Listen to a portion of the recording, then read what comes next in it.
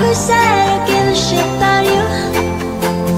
You never share your toys or communicate. I guess I'm just a playdate